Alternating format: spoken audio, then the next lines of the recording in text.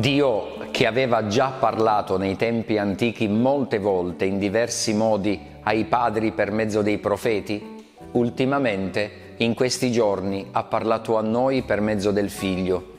È l'inizio della lettera agli ebrei nel fare l'elogio di Giovanni, Gesù lo colloca all'interno della storia della salvezza, della storia dei diversi modi e delle molte volte con cui Dio ha voluto entrare in relazione con gli uomini. Prima con la legge, garanzia della sua presenza in mezzo al popolo e fonte dell'identità di Israele in mezzo agli altri popoli. Poi con i profeti, che hanno richiamato il popolo alla fedeltà dell'alleanza.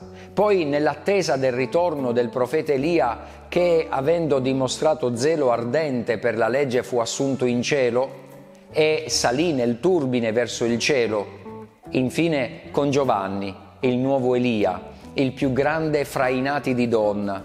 Eppure tutti questi modi sono ormai superati nel regno anche il più piccolo, anche l'ultimo arrivato è il più grande di Giovanni.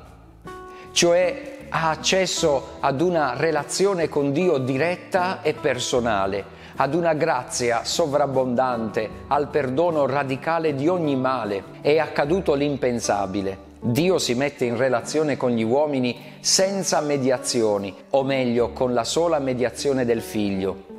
Quale violenza bisogna fare su di noi per entrare nel regno dei cieli? Buona giornata a tutti.